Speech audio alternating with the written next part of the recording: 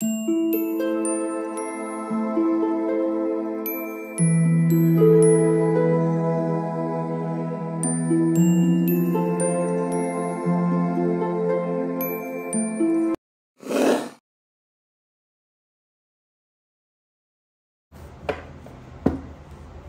all of you welcome back to my channel मैं आज आप लोगों के लिए लेकर आ चुकी हूँ एक कलेक्टिव रीडिंग जिसका टॉपिक रहने वाला है।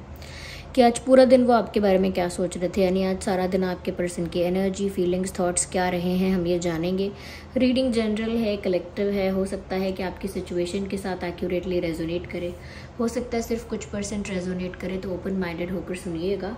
और ज़बरदस्ती अपने आप को रीडिंग में फिट इन करने की कोशिश मत कीजिएगा। जितना आपके साथ रेजोनेट होता है, उतना ही एक्सेप्ट कीजिए and leave the rest okay ये रीडिंग सभी जोडियक साइंस के लिए है, हर उम्र के व्यक्ति के लिए है टाइमलेस है। आप जब भी इस वीडियो को देख रहे हैं, यह आपके साथ तभी रेजोनेट करेगा। फिर चाहे आप इस वीडियो तक कितने भी समय बाद क्यों ना पहुँचे हम okay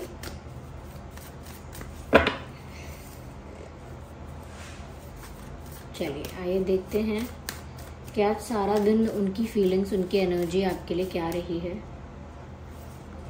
So first card is of strength card सबसे पहला कार्ड ही स्ट्रेंथ का है then we have nine of cups then we have the moon card nine of wands. Okay, so six of wands. Interesting. तो आज सारा दिन आपके पर्सन कैसा फील कर रहे थे? देखिए सबसे पहले यहाँ पर मुझे ऐसा लगता है कि आपके पर्सन जो है व्यूअर्स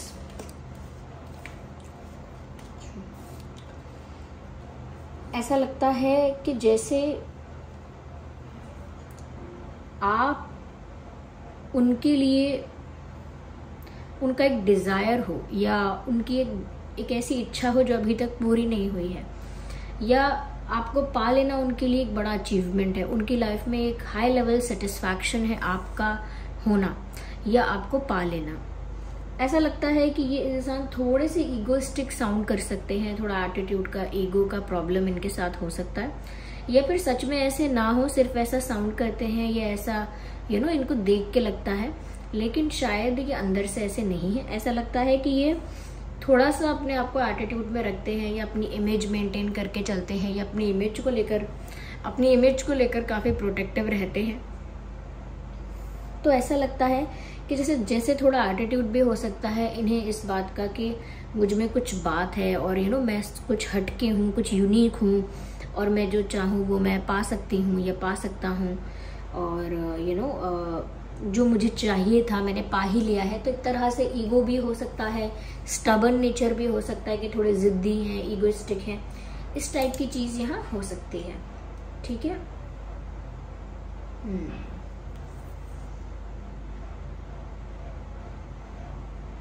हम्म। मुझे यहाँ पर ऐसा भी लगता है व्यूवर्स कि कहीं ना कहीं आज सारा दिन ये ऐसा प्रिटेंड तो कर रहे थे they are fine they are good they are okay and they don't care about anything ऐसा शो कर रहे थे या ऐसा प्रिटेंड कर रहे थे कि वो ठीक है, खुश हैं, उन्हें किसी की परवाह नहीं है, ना ही किसी चीज़ से उनको फ़र्क पड़ रहा है। ऐसा उन्होंने दिखाने की कोशिश की।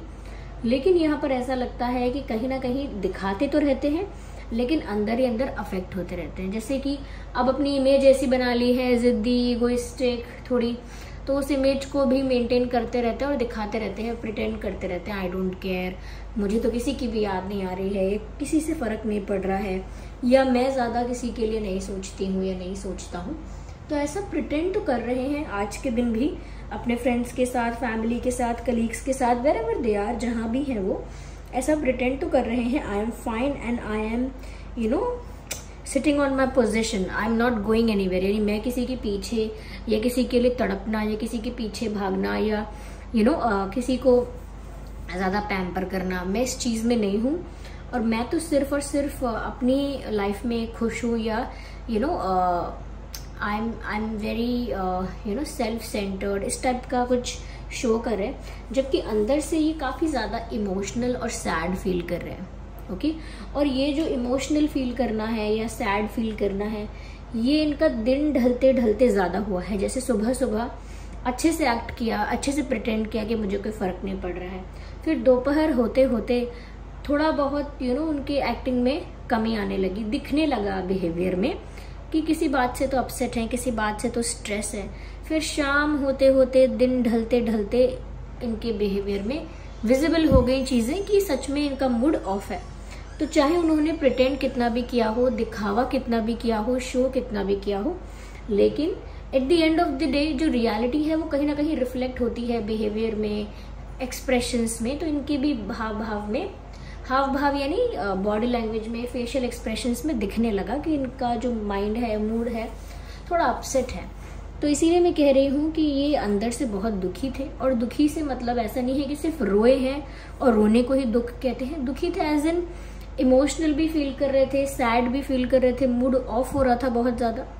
ओके तो मूड ऑफ़ हो रहा था, लेकिन क्योंकि they have certain kind of image इस वजह से वो दूसरों को ज़्यादा शेयर भी नहीं कर सकते अपने बारे में। एक जो व्यक्ति होता है ना, जो चार लोगों के बीच अपनी एक ही तरह की इमेज बना के रखता है, फिर वो उनसे अपना वलरेबल साइड शेयर नहीं कर पाता, या उनके साथ अपना वलरेबल वलरेबल साइड शो नहीं कर सकता। क्यों? क्योंकि उसने खुद ही अपने आप को एक rough tough careless carefree egoistic person दिखाया है। अब वो कैसे अपनी वलरेबल इमोशनल साइड दिखाए? तो ऐसा लगता है पूरे दिन इस तरह का डुअलिटी में जिए बिहेव कुछ किया फील कुछ किया, और उस डुअलिटी में जो उनकी जेनुअन जो उनको बुरा लग रहा था, असली में जो रियलिटी में जो उनको बुरा लग रहा था, उस बारे में वो किसी को शेयर नहीं कर पाए। ओके जस्ट अ सेकेंड तो वो किसी को शेयर नहीं कर पाए, ऐसा लगता है। यहाँ पर ऐसा भी लग रहा है व्यूवर्स कि किसी को शेयर नहीं कर पाए हैं और वैसे भी जनरली भी, इनके जो इमोशंस हैं, इनके दिल में जो डिज़ायर्स हैं आपको लेकर या इच्छाएँ जो हैं आपको पा लेना इनके लिए। मैंने कहा कि एक बड़ी बात है, या आपको पा लेना इनके लिए एक बड़ा अचीवमेंट है, इनके लिए यू नो एक सक्सेस है आपको पा लेना। लेकिन इस तरह का दिखा नहीं सकते हैं। इस तरह से शो नहीं कर सकते हैं कि अरे आप मेरे लिए बहुत वैल्यूएबल हो, या आपको पा लेना मेरे लिए सक्सेस है। या आप ही मेरे लाइफ के डिज़ायर हो विश हो, ऐसा शो नहीं कर सकते ये। हम्म let me have some water.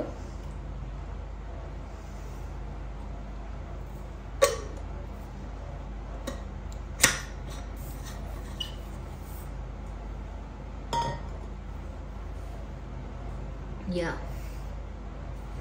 तो ऐसा शो नहीं कर सकते बट डीप डाउन स्ट्रेस में रहते हैं, अपनी फीलिंग्स कभी भी रिवील नहीं करते हाइड करके रखते हैं। ऐसा लगता है आज सारा दिन भी उन्होंने सब कुछ हाइड करके रखा। ना कुछ आपको बताया, ना किसी और को बताया, क्योंकि यहाँ पर हिडन इमोशंस बहुत ज़्यादा हैं। मैं कहूँगी बहुत ज़्यादा हिडन इमोशंस हैं। और इस इंसान ने डुअलिटी में जीते जीते अपने आप को ही बहुत परेशान किया है। अगर आप दो तरह का जीवन जी रहे हो, अंदर से कुछ फील कर रहे हो, दिखा कुछ और रहे हो तो इससे किसको परेशानी हो रही है? इनको ही हो रही है। तो इनको उस वजह से काफ़ी घुटन सफोकेशन या बार बार इरिटेट होना या मूड ऑफ़ होना इनके साथ बार बार होता है। आज भी इनके साथ ऐसा हुआ होगा कि कई बार छोटी छोटी बातों पे इनका मूड ऑफ़ हुआ है और ये शेयर भी नहीं कर पाए लोगों से कि असली वजह क्या है, क्यों ये इरिटेटेड है अनॉयड है, क्या बात है?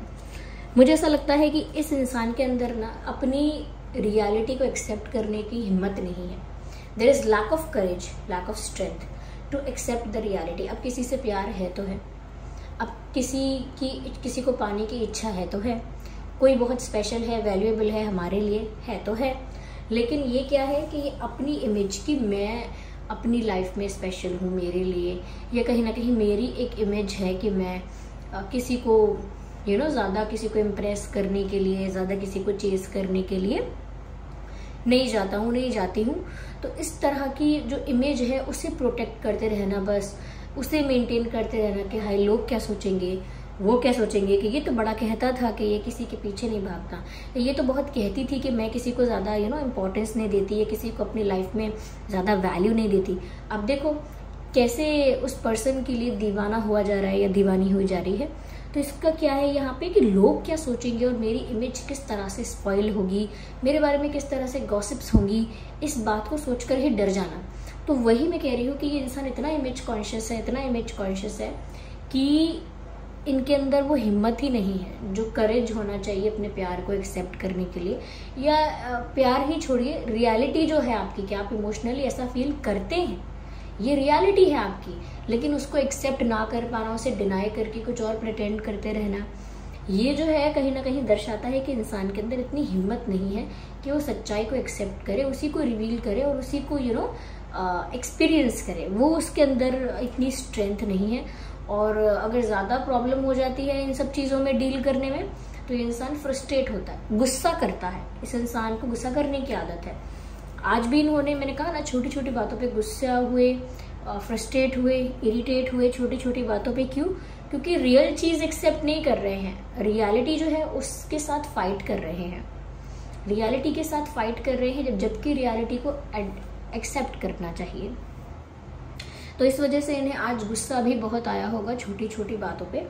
और क्योंकि अंदर हिम्मत नहीं है चीज़ों को एक्सेप्ट करने की तो फिर दूसरी चीज़ों पे गुस्सा निकालना। जैसे जैसे कोई बलवान इंसान, किसी कमज़ोर इंसान पर गुस्सा निकाले, ठीक है?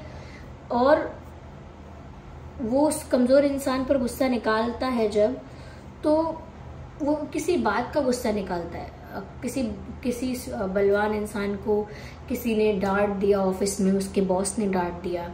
या कह सकते हैं कि आ, उसका कोई लॉस हो गया वो किस क्या करे वो इरिटेट हो रहा है तो वो अपने से बलवान पर नहीं अपने से कमज़ोर पर गुस्सा निकालता है उस बात का इरिटेट होता है उसके साथ। और ऐसा करते हैं ना कई कई घरों में ऐसा देखा जाता है सोशली ऐसा कई बार होता है कि जैसे हमारे घर में बड़े होते हैं, उनके ऑफ़िस में अगर उनको ज़्यादा सुना दिया जाता है, या उनके साथ बाहर कोई झगड़ा हो जाता है किसी के साथ तो घर आके वो अपने बच्चों को डांटने लगते हैं, या अपने घर वालों से झगड़ा करने लगते हैं।